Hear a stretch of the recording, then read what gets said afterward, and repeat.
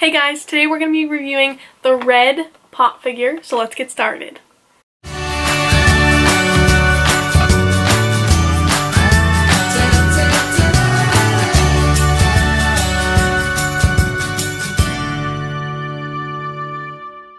So I'm still very, very excited that the Disney parks are releasing these amazing new pop figures. If you guys missed last Tuesday's video, I reviewed the new Matterhorn Abominable Snowman pop, and that was a lot of fun, so make sure to go check out that video. I'll have it linked down below as well as up above and at the end of the video and all of those other places. But today I'm going to be reviewing another new Disney Parks pop that was released at both US Disney parks few weeks ago now. I would like to do these videos right when these pops come out. It takes a while for them to ship.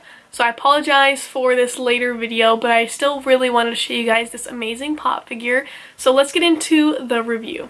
So this pop is from Pirates of the Caribbean. Pop is number 423. This is the Disney Parks exclusive, and this is Redd, or the red head. And looking at the back, it has the Pirates of the Caribbean logo, as well as this red background with kind of some artwork, as well as the little cartoon of the pop. And then right next to that is a wanted sign for Redd, and that looks really, really cool. This pop retailed for around $19.99 just like the Matterhorn one did. Let's check it out. I've not opened it yet so I'm excited to see all of these great details in this figure. Oh, this one comes with a stand. I wish all the pops came with stands at this point.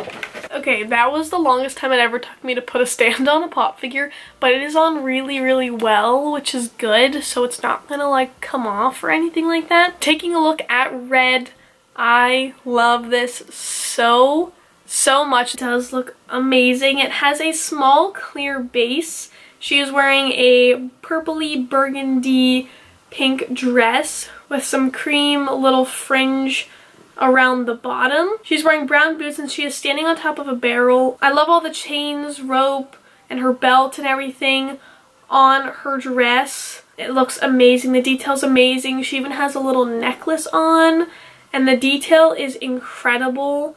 The one chain follows around the back of the pop and loops all the way around and you can actually feel that detailing. Very, very well detailed. I love that a lot. And it looks like she is holding a gun in her hand.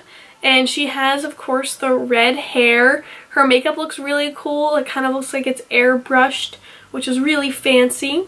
And she also has a burgundy hat with a silver little pop skull. I think that's so funny when they do that because it looks like a pop figure, not like a normal skull, which is cool. And it also has a black feather there's like two layered and you can see all the texturing which is really really amazing along with the hair texturing that is insane. Overall this pop is extremely well detailed. It is a very nice pop, good quality. It stands up. Yes, perfectly. I love it. I'm super excited to see who our next characters are. Oh my gosh, I cannot wait. I hope they continue to do this. I love it so, so much. So make sure you guys stay subscribed to my channel so you guys do not miss any more Funko Pop reviews.